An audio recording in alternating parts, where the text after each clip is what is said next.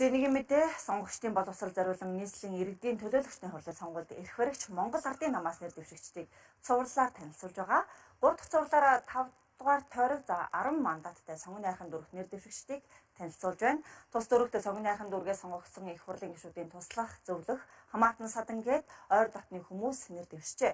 Тухайлбал нийслэлийн Монгол Ардын намын дарга Сумья Вазрын фракцад харьяалагддаг их нийслэлийн эрдийн төлөөлөгчдийн хурлын дарга давг тэргүүтээ залуус тус дөрөх нэр дэвшгээр мандат авчээ.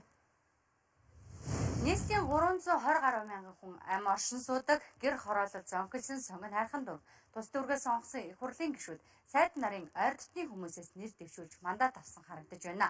Тухайлбал нийслэлийн эрдийн төлөөлөгчдийн хурлын сонгон хайрхан дүүргийн 9 дугаар тойрогт одоогийн нийслэлийн эрдийн төлөөлөгчдийн хурлын дарга за давг нэр дэвшиж байна. Түүнийг нийслэлийн Монгол Ардын намын дарга Сумья Азрын хүн гэж улс төрийн хүрээнд яригддаг.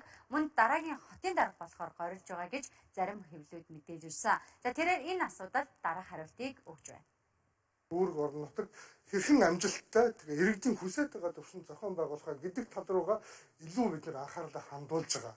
А дарга цэргийн асуудал нь бол тэгээд хууль нам дүрм журмынхаа дагуу хандсан нь бол тэгээд болох байх үү дээ. Та энэ дээр ямар байсан? Би ч одоо хонда тийм бодоогүй л шүү дээ.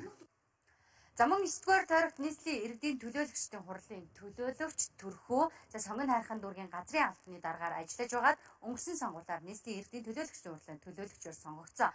Одоо улс өвгийн удирдах газрын дараагаар ажиллаж байгаа лээ. За харин нийслэлийн иргэдийн төлөөлөгчдийн хурлын 10 дугаар тойрогт нийгмийн ард Монголын залуучуудын холбооны дэд ерөнхийлөгч нийслэлийн Монгол ардын нийслэлийн нийгмийн ард Монголын залуучуудын холбооны тэргүүн за Сэргэлэн Баатар улсын хурлын гишүүний зөвлөх за Баттөр нар нэр дэвшиж байна. За Сэргэлэн Баатар Баттөр нар хоёулаа улсын хурлын гишүүн хууль зүйн дотоод хэргийн сайд Нямбаатрын зөвлөхүүдээ. За сонгон хайрхан дөрвөөс хоёр дахь удаага сонгогдсон Нямбаатар сайд энэ тойрогт ойрын хоёр хүнээ нэр дэвшүүлж мандат авчээ. За тэгвэл нийслэлийн иргэдийн төлөөлөлт хурлын 11 дугаар тойрог сонгон хайрхан дүүргийн иргэдийн хурлын төлөөлөг сонгон хайрхан дүүргийн засаг дарга сандаг сүрэн замун сонгон хайрхан дүүргийн засаг даргын орлогч баяр чимээнэр нэр дэвших мандат авчээ. За дээр хоёр нэр дэвшигчийг нийслэлийн Монгол Ардын намын дарга Сумья Азрын фракцийн хүмүүс гэж мөн л улс төрийн хүрээнд яригддаг бол нийслэлийн иргэдийн төлөөлөлт хурлын 12 дугаар тойрогт нэр дэвшигч нийгмийн ард Монголын залуучуудын холбооны дэд ерөнхийлөгч За төгөлдрийг мөн сумья азар гişүүний баз хүргэн ойрын хүн нь учир сонгонд хайрхан дүр нэр дэвшүүлсэн гэж хэвлэлүүд онцолж байна. За мөн 12 дугаар тойрог сонгонд хайрхан дүргийн иргэдийн төрлийн төлөөлөгч улсын хурлын гишүүний зөвлөх говьсайхан нар нэр дэвшжээ. Тэрээр улсын хурлын гишүүн асан тэрвш давгийн зөвлөхөөр ажиллаж байсан Монголын хүнсчдийн холбооны гүйцэтгэх захирлын сонгуульд ажилтай.